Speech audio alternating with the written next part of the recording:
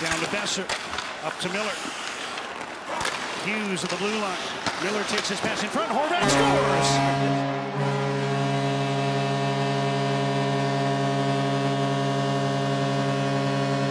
Is it live or is it Memorex? We've seen that play a few times. Well, this one's different, and I think that's what confused the Montreal Canadiens. Instead of the bumper one, this is a side one. And you can see Boeser was down low, and Miller, there's Boeser down low, and the Canadiens think they're going to feed it back to Boeser. Pass. Now look at the Canadiens, Shea Weber leaning back towards Boeser. And instead, they just go side to side instead of the deep pass.